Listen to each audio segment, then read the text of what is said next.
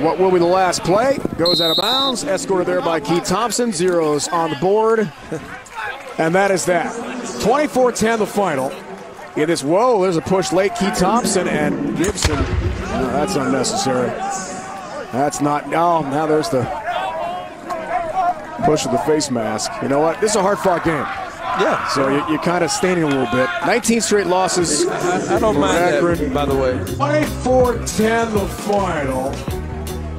In this, whoa, there's a push.